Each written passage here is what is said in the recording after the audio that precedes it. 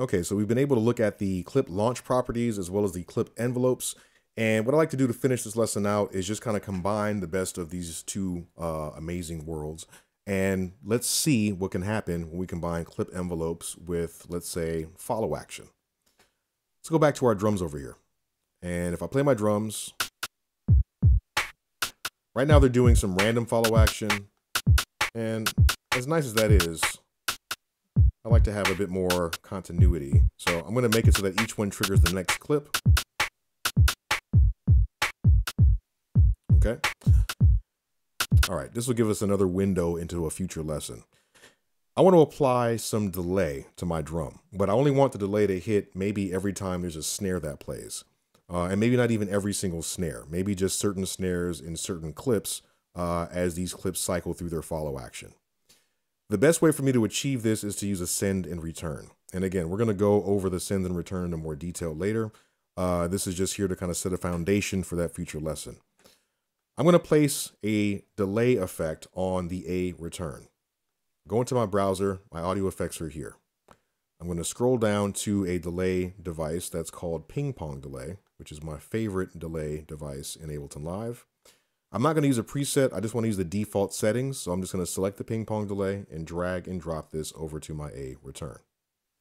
There it is. Now, we're going to talk a lot more about effects and the differences between putting an effect directly on a track versus having it on a return. For now, the main thing to know is that this particular effect has a dry wet knob. If we send audio to it and it's completely dry, we won't hear any of the effect come out. If we send audio to it and it's completely wet, we're only going to hear the output of the effect.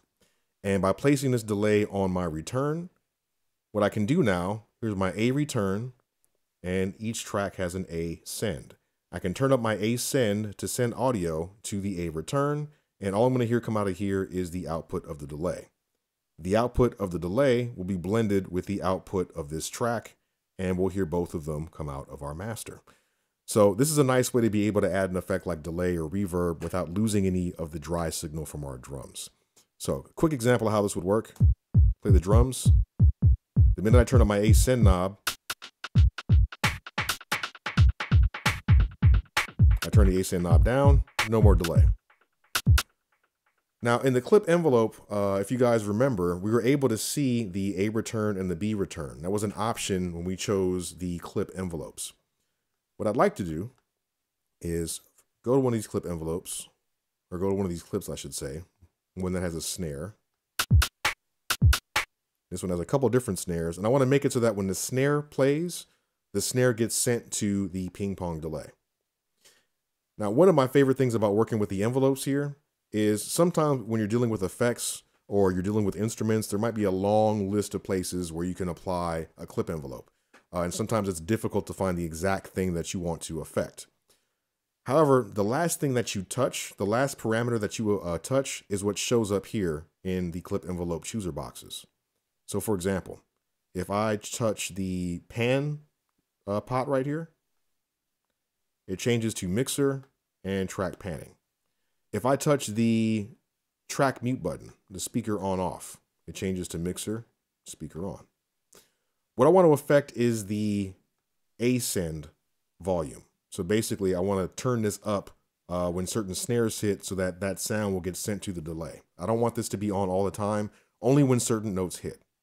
I know that if I use my pencil tool, I can uh, basically draw an automation that snaps to certain parts of my beat grid, which should make it easier to time this properly. So I can see that my envelope is visible because this yellow arrow next to where it says envelopes is on. If that wasn't on, then that means I'm not looking at the envelope. So let me turn that back on. Here's my envelope. I want this clip envelope to be linked to the loop length of the clip because I want to affect specific notes inside of the clip. And if this is linked, I'll be able to see the audio content in the clip while I'm drawing my envelope. All I have to do now is simply draw this in. The little pink dash line here is showing me that the current value of this parameter of the A send is zero. So I want this to turn on when this snare plays. I also want it to turn on when this last snare plays as well. So if I play this one clip again now, you'll notice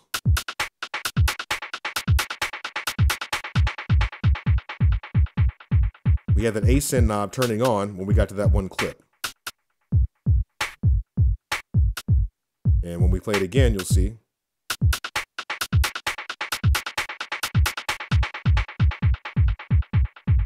Pretty cool. So let's go ahead and do some automation with this very first clip as well. So I'm still looking at the clip envelope. I haven't changed anything uh, in the chooser boxes here, so I'm still going to be affecting the uh, A send level, the amount that we're sending to the A return. And I'm still using my pencil tool. So I'm going to go ahead and just make it. Let's play this clip because I don't remember how this one sounds. Ah, there we go. All right. So I'm just going to do the delay on just this one snare here.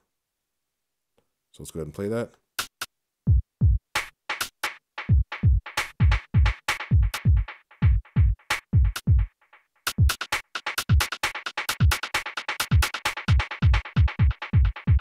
So we can see every time there's some automation for that knob, there's a red dot that shows up. We didn't do any automation on the second clip. We did on the third clip. And there we go. So let's go ahead and bring that in with our little rubber chipmunk sound.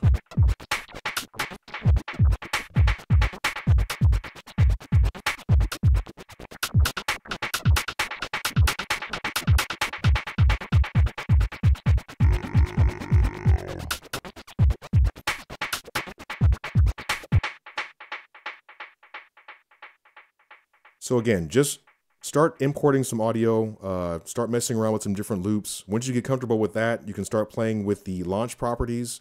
Follow action is a great way to take a group of different clips, duplicate them, isolate different loops, and create more variation out of what was once a very static loop.